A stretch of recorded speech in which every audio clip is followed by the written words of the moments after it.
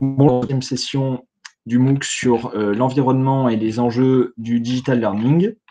Donc, je m'appelle euh, Paul Farnet, euh, je suis intervenu dans, dans, cette formation en ligne sur certains sujets et j'assure ce, ce, premier webinar pour répondre de moi et répondre aussi en direct euh, à vos, aux questions que vous pouvez avoir sur les premiers modules que vous avez vus jusqu'à jusqu'à présent, euh, via notamment le chat qui est juste en dessous de cette vidéo. Donc, euh, bah, n'hésitez pas tout au long de ces, directement sur le chat et j'essaierai d'y répondre euh, au fur et à mesure. Donc, je vais essayer de traiter sujet par sujet. Euh, voilà, mais euh, surtout, n'hésitez pas à poser n'importe quel type de questions sur ce, sur ce chat. N'oubliez pas qu'il y aura deux webinars au cours de cette formation en ligne. Ce premier webinar est censé été vu jusqu'à présent. mais bien sûr, si vous avez d'ores et déjà vu l'intégralité de la formation, vous pouvez aussi poser vos questions sur le chat. Donc, euh, je vais baser mon intervention sur euh, euh, des, messages qui, sont, qui sont arrivés sur des forums sur ces premières semaines. et donc, bah, je, vais vous, je vais vous partager mon écran avec quelques slides que j'ai préparés pour répondre à ces questions. donc, bien sûr, les slides que je vais vous présenter, elles seront bientôt disponibles sur, le, sur le, la plateforme. et vous aurez également le replay de, ce, de ce webinar qui euh, qui sera également euh, sur la plateforme. Donc, je vais partager mon écran et on va débuter, euh, on va débuter le webinaire.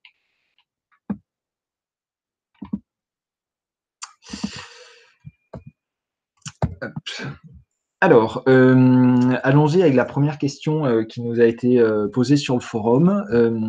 Donc la question est la suivante. On voit bien dans les deux premiers chapitres que l'assiduité va être autrement plus compliquée à justifier avec des différences de niveau entre les prestataires. Le risque de ne pas pouvoir, de ne pas avoir de règles du jeu précises et l'hétérogénéité a trop de preuves à fournir, soit pas assez avec des pratiques frauduleuses. Le juste équilibre sera la perle rare. Donc ça, c'est une question euh, qui avait également été évoquée lors de la première session de, cette formation, et c'est la question de la justification du temps qu'on passe euh, sur une, une formation une formation qui est faite à distance. Euh, c'est une formation sur laquelle, effectivement, bah, il y a une vérification du temps qui est passé, qui est forcément un peu moins évidente que euh, quand on assure une formation en présentiel. Alors, ma réaction par rapport à cette question, c'est que, euh, bien sûr, d'un côté, le temps passé réel euh, en digital learning, il est plus difficile à évaluer. Alors déjà, pour vous donner des éléments concrets sur l'évaluation du temps passé, vous avez aujourd'hui des systèmes qui vous permettent de tracer le temps qu'un utilisateur passe sur une plateforme de formation en ligne et des sessions de, formation, c'est-à-dire euh, euh, vous pouvez savoir euh, s'il se connecte pendant 15 minutes, 20 minutes, 30 minutes, etc. Et vous pouvez savoir le temps total qui passe sur une plateforme. Alors évidemment, ce temps, c'est le temps sur lequel son navigateur et où il est vraiment attentif ou s'il a allumé son ordinateur et le site et qu'il est allé boire un café à côté. Euh, donc ce temps de formation, il est évidemment euh, à, relativiser et euh, le, temps passé sur une plateforme, bah, c'est quelque chose qui aujourd'hui peut doit aussi s'accompagner du, fait d'une vérification des connaissances et des compétences acquises pendant la formation. et donc ça, c'est l'autre point que, que, je voulais évoquer et qui me semble un peu, un peu plus positif, on va dire, c'est que le digital learning une vérification des compétences et des connaissances qui est un peu plus systématique que le présentiel. Et donc c'est vrai que aujourd'hui le fait que le digital learning se développe dans le dans la euh, bah, les, formations euh, notamment financés par, euh, euh, euh, par les OPCA et demain d'autres instances, ces, formations en digital learning sont très souvent assorties de quiz de validation, idéalement module par module, qui viennent vérifier la compétence de l'apprenant. Et donc, par exemple, vous avez aujourd'hui dans beaucoup de dispositifs des badges ou des attestations réussite qui sont délivrées aux apprenants une fois que un score et une fois que l'apprenant a eu un score minimum sur, sur la formation. Et euh, finalement, on pourrait, on pourrait dire que ça, c'est quand même une évolution intéressante par rapport au présentiel, où euh, bah, la vérification des connaissances, c'était vraiment pas systématique du tout. Et finalement, on se contentait de signer une feuille de présence, alors que le digital learning, parce que justement, euh, bah, c'est difficile de signer une feuille de présence, euh, impose d'avoir euh, cette phase de validation qui est un peu plus, un peu plus structurée. Et donc, euh, je pense qu'il y, y a, quelque chose de, de positif et d'intéressant là-dedans, qui est que la vérification euh, des compétences va être, à mon avis, un peu plus, euh, un peu plus systématique, à la fois dans le digital learning, mais aussi peut-être euh, maintenant dans, le présentiel. Et donc, euh, l'assiduité, elle peut être vérifiée, pour moi, en analysant un petit peu ces deux, ces deux éléments-là. C'est-à-dire que euh, si on a euh, un utilisateur qui a passé 10 heures sur une formation en ligne, mais qui n'a pas obtenu son attestation de réussite, on peut effectivement douter de l'assiduité réelle, c'est-à-dire qu'il a probablement bah, laissé tourner le module de formation, mais sans forcément être attentif. Et du coup, à l'inverse, bah, quelqu'un qui a 100% de ses, de quiz, mais s'est connecté que deux minutes, là aussi, on peut avoir un petit doute sur le fait qu'il a fait ça euh, avec une certaine honnêteté euh, dans, euh, dans le suivi de la formation. Maintenant, la plupart des collaborateurs exemple de digital learning entre une et deux heures à travailler et qui ont un, score de réussite plus, enfin, suffisant pour avoir l'attestation de réussite, euh, bah, ces personnes-là, on peut dire qu'on a vérifié leur assiduité par deux éléments, le temps de connexion, mais aussi euh, le, score obtenu, euh, d'une manière qui est, je pense, assez, assez satisfaisante et, qui permet bah, de, effectivement, délivrer une attestation de suivi de, cette formation-là. Et le dernier point que je souhaitais soulever sur cette question, c'est que mon conseil serait de privilégier les formations qui permettent de de faire euh, de la validation de, connaissances. C'est-à-dire que euh, plutôt qu'une formation qui va proposer, euh, par exemple, une formation en ligne de 7 heures ou de 5 heures et un seul quiz final, si vous en avez la possibilité, essayez plutôt de choisir des prestataires qui proposent plutôt une vérification module par module de ce qui a été fait par l'apprenant. Euh, ça, ça permet et ça oblige, entre guillemets, l'apprenant à quand même venir valider l'ensemble des modules plutôt que euh, juste un quiz final, par exemple, sur, euh, sur une formation plus longue. Pédagogiquement, c'est intéressant de granulariser et de faire des quiz module par module, mais même en termes de suivi, ça vous permet de faire une vérification plus fine de ce qui a réellement été fait par l'apprenant et ça permet aussi, euh, bah, par exemple, aux responsables formation ou aux responsables opérationnels de voir là où l'apprenant a des difficultés et là où l'apprenant. Donc voilà, si vous avez le choix entre des dispositifs qui, granularisent cette phase de vérification ou pas, moi je vous conseille d'opter plutôt pour des, des euh, dispositifs granularisés. La deuxième question euh, est la suivante. Peut-on revoir les preuves à apporter euh, par rapport à la réalisation d'une formation digital learning, notamment dans le cadre de formations cofinancées par le FSE ou les conseils régionaux? Donc, euh, c'est très proche de la question précédente. Je vais simplement rappeler les deux éléments qui sont généralement demandés. Donc, le temps de formation en ligne et le score de réussite qui donc délivre l'attestation de, de suivi. Donc, question numéro 3, sur un sujet un petit peu différent pourquoi le critère de la qualité se retrouve après celui du volume pour mesurer le coût d'une formation ouverte à distance? Euh, présenté de cette façon, euh, pardon, euh, notre appréciation du prix d'une offre de FOAD semble guidée par la quantité versus la qualité. Merci de votre avis. Alors en fait, ce qu'on souhaitait dire, euh, on a présenté effectivement le fait de d'abord euh, voir euh, bah, la, quantité de formation qui est proposée dans une offre avant de comparer la qualité dans l'esprit de, dire euh, bah, comparons ce qui est comparable, c'est-à-dire qu'une formation de 450 heures sera bien sûr pas au même prix qu'une formation de 7 heures. Donc, euh, analysons évidemment d'abord euh, de, quoi on parle. Est-ce qu'on est sur une formation d'équivalent 1, 2, 3 jours ou une formation longue? Et ensuite, comparant, comparant les différentes offres qui sont proposées.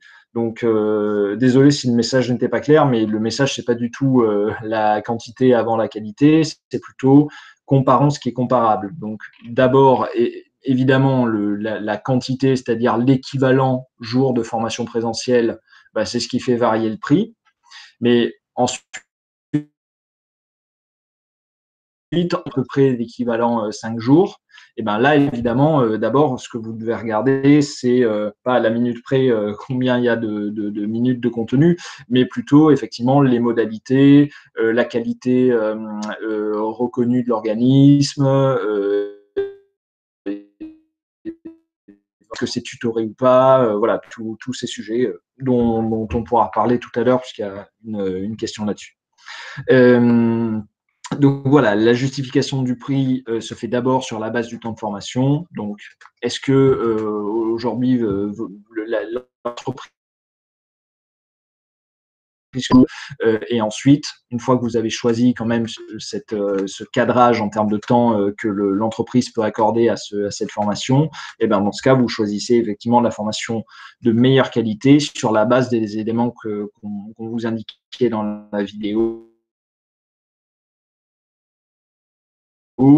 Euh, par exemple, est-ce que c'est tutoré ou non? C'est vraiment important de savoir si euh, euh, côté, côté organisme de formation, il y aura quelqu'un pour répondre à des questions éventuellement postées par les, apprenants. Donc, donc voilà. C'est une question. J'ai une question sur le choix d'un prestataire justement. Aujourd'hui, comme CF en OPCA, euh, comme conseiller formation en OPCA, pardon, j'arrive à parler avec un formateur. On s'entend, en revanche, j'ai du mal à me faire comprendre des développer des clés à ce sujet, d'accord. Euh, ok, euh, donc vous êtes donc en tant que conseiller de formation, vous êtes amené à communiquer avec des développeurs. Alors c'est peut-être sur des sujets liés au LMS ou alors si c'est sur des sujets liés au LMS que vous discutez avec euh, euh, soit vous formalisez en fait un petit cahier des charges techniques. Euh, bon, évidemment, les, langages peuvent être un petit peu différents, mais bon, ça, vaut le coup de, de formaliser peut-être une demande avec un cahier des charges. par exemple, déterminer l'architecture fonctionnelle d'un besoin essayez peut-être de me préciser cette question-là dans le chat, mais par exemple, si votre question c'est euh, je dois conseiller euh, une entreprise sur euh, voilà le, choix d'un LMS par rapport à une, une architecture fonctionnelle, le mieux c'est effectivement de libeller comme si vous étiez un apprenant, par exemple, tout ce que l'apprenant doit pouvoir faire dans le LMS que vous allez conseiller à l'entreprise, avec voilà bah, une, formulation à savoir, euh, euh, bah, je sais pas, par exemple, euh, réaliser un quiz, suivre une vidéo, faire un serious game, etc. Et bah, les développeurs pourront peut-être vous répondre sur le, les, spécificités fonctionnelles du LMS qu'ils proposent.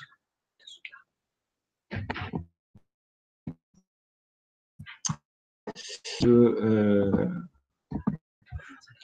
améliorer ça.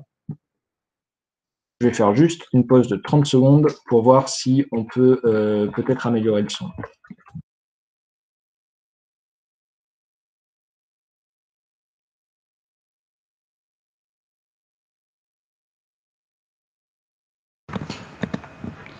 Ok, bon ben, j'ai essayé d'améliorer un peu ça, on va reprendre tout de suite.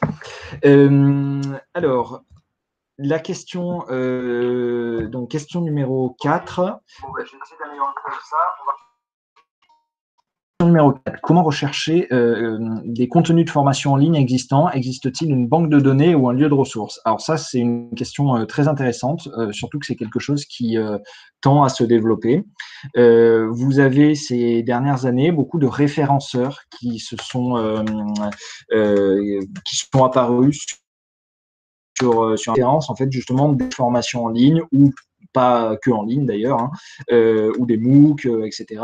Et qui donc ont vocation à vous permettre de mieux choisir ces, ces, formations et de les comparer souvent sur la base de, des retours utilisateurs. Donc c'est un peu l'objectif d'avoir un TripAdvisor de la formation. Euh, d'ailleurs, vous avez beaucoup de, beaucoup de marques qui reprennent un peu ce slogan de, Trip, de TripAdvisor de la formation. Euh, vous n'avez pas de plateforme qui est vraiment leader sur, ce, sur ces référencements aujourd'hui et vous n'avez pas non plus de plateforme qui est exhaustive. Donc, je vous ai donné trois liens. MyMOOC, euh, qui est un référenceur, alors d'abord né du, phénomène MOOC, mais qui ne référence pas uniquement des, des MOOC aujourd'hui. Donc, ça vaut le coup de regarder ce site, surtout si vous cherchez des formations ouvertes, euh, voilà, puisqu'il référence euh, en particulier des formations ouvertes, mais pas, pas, que, pas que de ça, mais par exemple, si vous cherchez des MOOC, c'est clair que sur cette plateforme-là, vous aurez tous les, les MOOC francophones de référencés. Ensuite, vous avez euh, K2Form et Hyperbolique, qui sont aussi deux, euh, deux référenceurs qui référencent beaucoup de formations en ligne et un peu de formation présentielle également, et qui proposent aussi bah, un système. Alors, Hyperbolique, c'est basé sur un chatbot, il, me semble, et K2Form, c'est vous aurez des avis utilisateurs sur les, les, formations proposées. Voilà, donc c'est deux approches un peu différentes, mais, mais les deux valent le coup d'un coup d'œil. Donc, euh, essayez de, voir un petit peu si ça peut correspondre à, euh, aux formations que, que, vous pouvez recommander aux entreprises. Et, euh, et, voilà. Et surtout, restez en veille effectivement sur ce type d'initiative parce que je pense que ça va continuer à se développer et peut-être qu'on verra des fusion entre guillemets de, ces référenceurs pour essayer de faire émerger euh, une plateforme euh, publique ou privée de référencement de, formation en ligne euh, qui permettent aussi qui soit un outil d'aide à la décision pour vous parce que par exemple sur MyMOOC c'est le cas vous avez systématiquement des retours utilisateurs et vous pouvez donc, et donc avoir ce feedback peut-être au moment où vous conseillez une entreprise, euh, ça, peut être, euh, ça peut être intéressant. Alors, euh, je vais aussi reprendre quelques questions qui ont été posées à la session précédente, euh, qui, qui, étaient assez euh, en, ligne avec les premiers, les premiers chapitres de, ce, de, cette formation.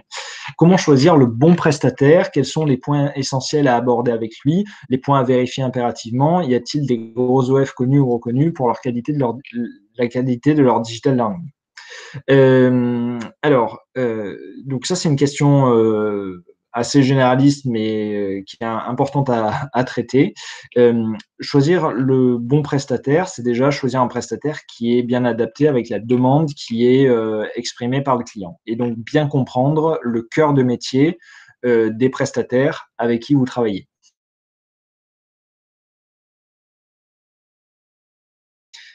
d'agences, d'entreprises dans le digital learning qui annoncent faire beaucoup de choses, mais il faut vraiment voir concrètement ce qui est, quel est le cœur de métier de, chacun de, ces, euh, de chacune de ces entreprises.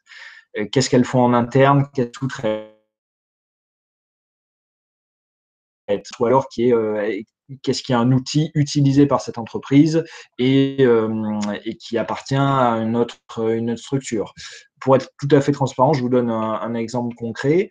par exemple, notre agence fait du serious game, mais on pas éditeur, création de Serious Game. On dit qu'on fait de Serious Game parce qu'en fait, on fait de la scénarisation de Serious Game, euh, on fait des scénarios de Serious Game et on utilise un logiciel euh, qui est proposé par un autre prestataire qui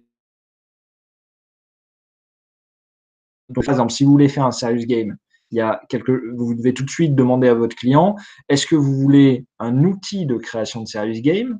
Ou est-ce que vous voulez une agence de création de service game qui va faire aussi du coup l'ingénierie pédagogique, euh, le design, etc. Et donc là, bah, si vous voulez une agence de création de service game, vous c'est une agence qui fait aussi la euh, scénarisation pédagogique, etc. Si, votre, euh, si la demande ne correspond que à un outil de création de service game, vous vous adressez directement au, au prestataire qui, qui propose l'outil. Donc c'est vraiment essentiel de bien comprendre le besoin cœur de métier des prestataires auxquels, auxquels vous vous adressez. Ensuite, bon, ben, les prestataires vont aussi pouvoir vous présenter des retours d'expérience. Donc, n'hésitez pas à demander aux prestataires que vous, que vous consultez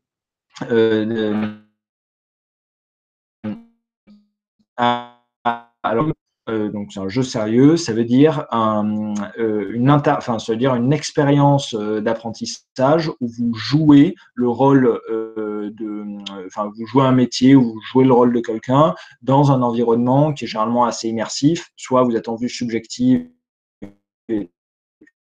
euh, soit euh, vous êtes, euh, c'est un outil de gestion, par exemple, comme une sorte de, enfin, une, une vidéo sur une usine à gérer, voyez, ou ce genre de choses. Donc, en fait, c'est une expérience qui est ludique. C'est pour ça que ça s'appelle game. C'est inspiré du secteur des, jeux vidéo, mais dont l'objectif est de vous faire apprendre quelque chose pour votre métier ou de manière générale sur un sujet transverse, mais toujours donc dans un objectif pédagogique. Voilà. Euh, et donc je reprends sur, la, sur le choix des bons prestataires. Euh, demandez à vos prestataires de vous montrer des exemples de réalisation, euh, de voir si bah, ces réalisations ont par exemple été plus ou moins appréciées alors par les apprenants, mais aussi si ça s'est bien passé avec l'équipe de formation, si le prestataire a su faire preuve de souplesse dans les deux de référence auprès, de, auprès des clients avec qui le prestataire a, déjà travaillé. Euh, voilà. Et puis ensuite, euh, demander une démo euh, pour vous faire vous-même une idée de ce qui est proposé concrètement. voilà, un accès à une, une, formation ou un, un outil qui est proposé par le prestataire pour le tester avant éventuellement de le proposer à votre client.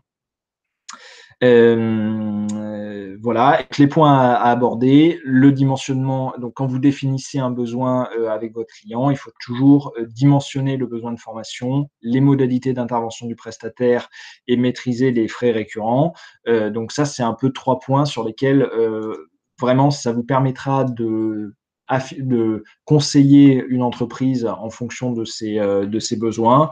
Donc, euh, donc essayez toujours, enfin, quand vous avez une entreprise qui euh, vous demande de l'aider sur un dispositif de formation, d'avoir ce dimensionnement du besoin, les modalités qu'elle cherche, est-ce que c'est tutoré ou pas, par exemple, et quels frais, quels frais ça va engager, notamment sur le, les frais récurrents qui aujourd'hui peuvent être vraiment maîtrisés avec euh, des solutions open source ou ce genre une autre formation digitale. Donc, quels sont les ingrédients miracles pour rendre attractive une formation euh, sur étagère en digital? Car les retours des entreprises adhérentes de notre OPCA et, des grandes, et de grande taille qui ont investi dans ce type de dispositif euh, sont pour la plupart négatifs, euh, pour essayer euh, de vérifier ou d'évaluer si euh, l'offre de formation digitale qu'on vous propose est de qualité et pourrait avoir des retours au-dessus de la moyenne, on va dire. la première chose, c'est le timing de la formation. Essayez toujours de privilégier des formations dont les modules peuvent être suivis de manière fractionnée et séquencée. Nous, on a constaté que sur l'ensemble de nos plateformes de, formation, euh, le temps moyen de connexion d'un apprenant est de 15-20 minutes. Donc, il faut qu'en moins de 15-20 minutes, l'apprenant ait réussi à faire quelque chose de pédagogiquement cohérent. Donc, par exemple, c'est de plus en plus difficile d'avoir de bons taux de, réussite sur des e-learning qui vont faire euh, entre 30 et 40 minutes. Donc, privilégier des formations Euh, en, séquence, en module de 10 minutes. Euh, enfin 10 ou 15 minutes maximum, ce qui permettra d'avoir un engagement probablement meilleur de la part des apprenants. Essayez aussi de privilégier des dispositifs qui euh, génèrent des relances auprès des apprenants. donc, euh, euh, faites par des, tuteurs ou autres, euh, qui relancent les apprenants régulièrement pour éviter l'effet de, chute d'attention au cours des, jours ou des semaines de la formation. Essayez de privilégier aussi des formations qui ont une dimension sociale et éventuellement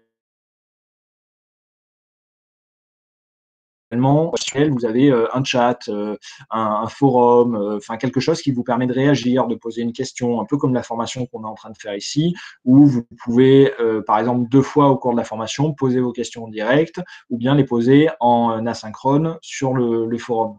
Donc, cette dimension sociale, c'est quelque chose qui rajoute quand même quelque, enfin, une, une expérience sur la formation et qui vous permet de poser éventuellement euh, une question ou de partager une expérience avec les autres euh, membres de la communauté apprenante et euh, envers le, formateur. les formats vidéo 4-5 minutes, on constate vraiment une chute dans l'attention des apprenants sur des, vidéos, donc essayer de faire des vidéos de moins de 5 minutes. Euh, une présence humaine dans la vidéo, donc là aussi, essayez peut-être d'éviter euh, du. Euh, ouais, je vais y répondre. d'éviter des, formations où c'est que, que, que du motion design sans, présence humaine, parce que voilà, les, petits personnages, etc. Bon, c'est pratique et ça peut être sympa pour des formations très courtes, mais quand on est sur des formations un peu plus longues, le fait d'avoir une personne, euh, une personne physique hein, qui, euh, euh, qui vous accueille dans la formation, etc., c'est aussi agréable. Et pour terminer, un système de récompense, badge, attestation, qui peut être aussi un facteur motivant pour l'apprenant. Voilà. Donc une petite liste, là encore un peu qui n'est pas exhaustive, mais que j'avais en tête pour vous, aider, vous aider à bah,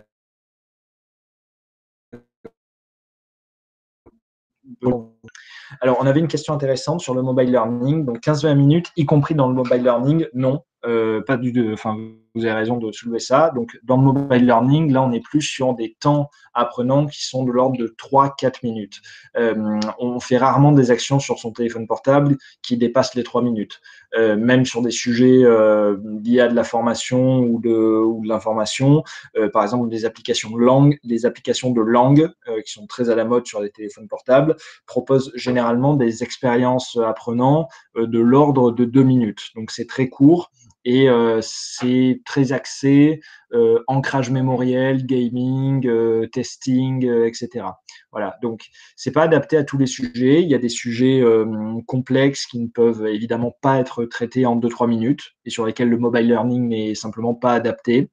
Et par contre, il y a d'autres sujets sur lesquels le mobile learning est très efficace, type acculturation digitale ou ce genre de choses, sur lesquels en deux minutes, on peut apprendre un concept euh, et, c'est suffisant pour euh, voilà, euh, entretenir sa connaissance d'un secteur ou, ou, des nouvelles technologies ou ce genre de choses.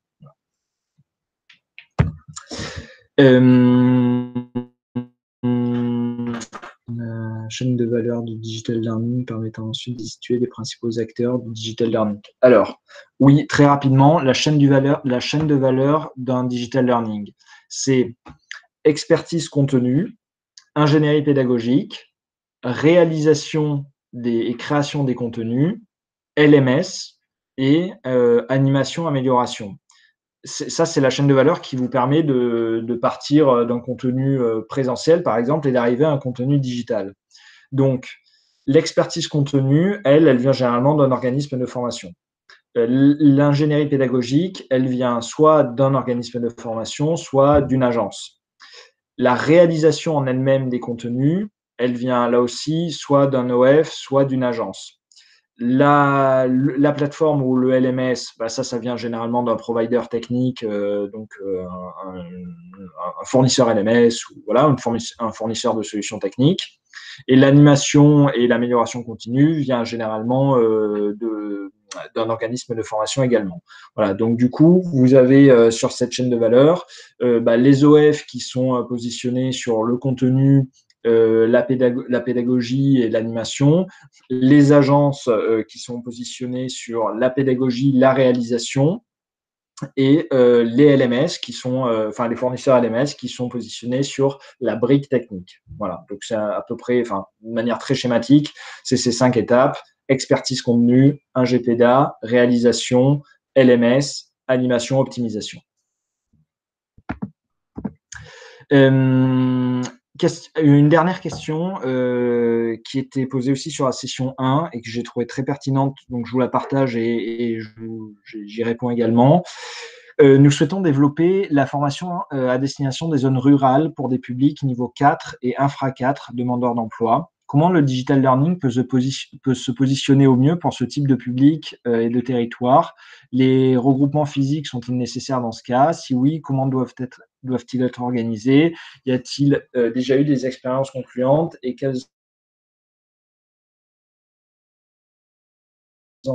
euh, le, public niveau 4 et infra, donc niveau 4 et niveau 5, euh, c'est effectivement un public, alors sans généraliser complètement, mais soit on pense que c'est un public qui est un peu éloigné du digital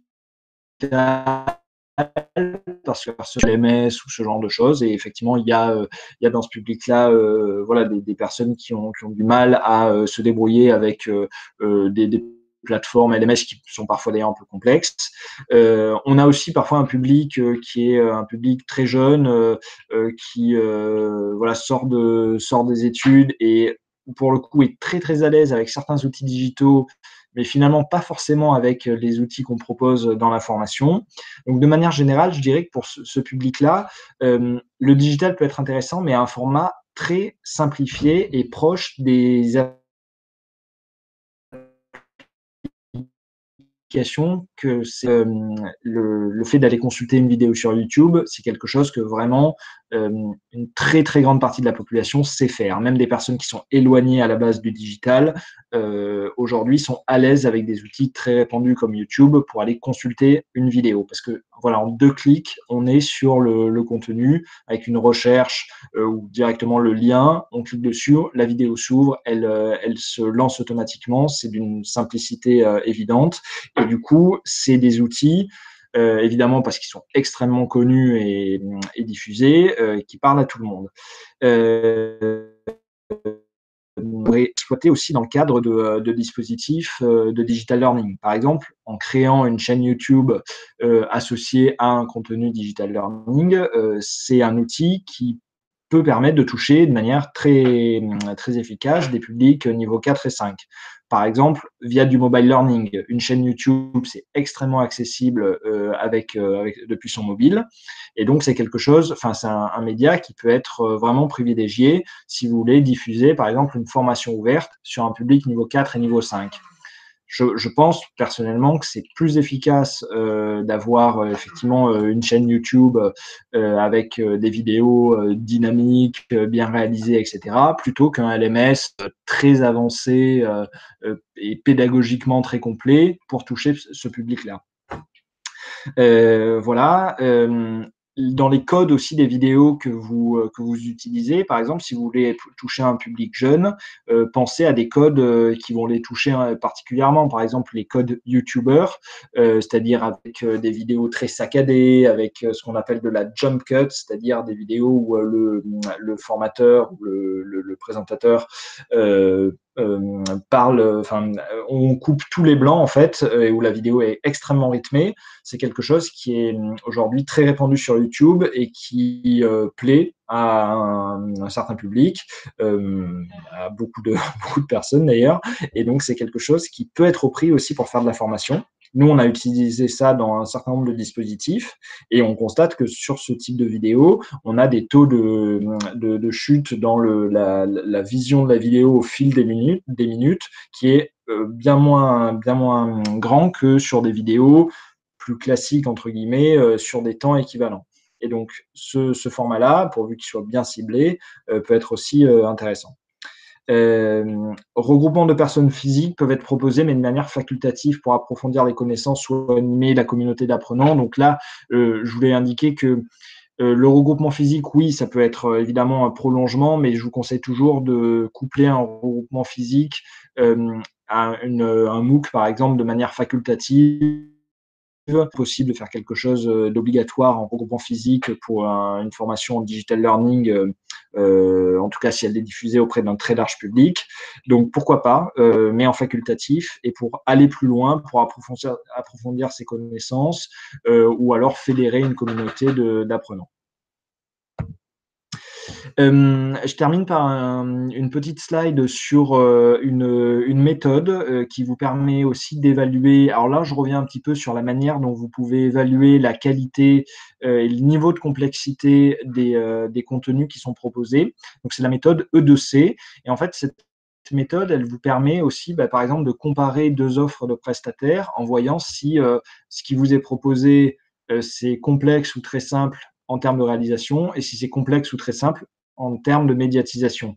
Donc, par exemple, euh, vous pouvez euh, bah, recevoir une offre d'un prestataire et puis essayer de positionner entre 1 et 4 la complexité de la scénarisation dans le module qui vous, qui vous est proposé. Donc, par exemple, la scénarisation niveau 1, euh, c'est quelque chose qui ne nécessite pas de scénarisation pédagogique particulière. Donc, un e-book, par exemple, ça ne nécessite pas de scénarisation pédagogique particulière. scénarisation niveau 4, par contre, bah là, on est sur une scénarisation qui place l'apprenant au cœur du scénario, euh, type euh, Serious Game. Voilà. Euh, médiatisation, niveau 1, aucun média à produire. encore une fois, voilà, un e-book ou un PowerPoint, par exemple, c'est de ce type-là. et par contre, niveau 4, bon, bah là, on est sur la réalisation d'environnements 3D, par exemple, qui vont être extrêmement complexes.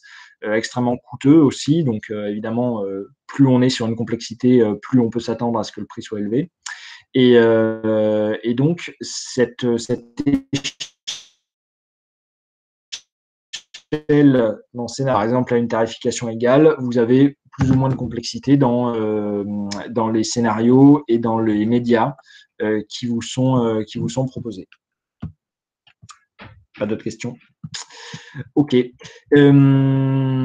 Euh, donc, je, je, vous propose, euh, donc, si vous avez d'autres questions, il nous reste encore euh, quelques minutes, quelques minutes sur le chat. Donc, n'hésitez pas si vous avez encore quelques questions à nous poser sur, sur ces premières semaines. donc, pour rappel, la formation dure encore deux semaines et un autre webinar sera proposé donc dans deux semaines pour répondre à à toutes les nouvelles questions qui sont posées sur le, sur le forum et euh, également euh, en direct sur le chat.